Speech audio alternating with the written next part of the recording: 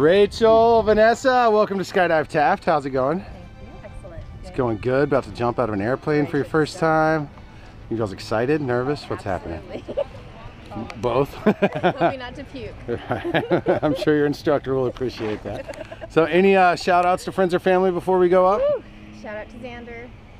Shout out to Xander when you're 18. All right, well, we're gonna go have some fun up there, girls. Enjoy it. That's it. All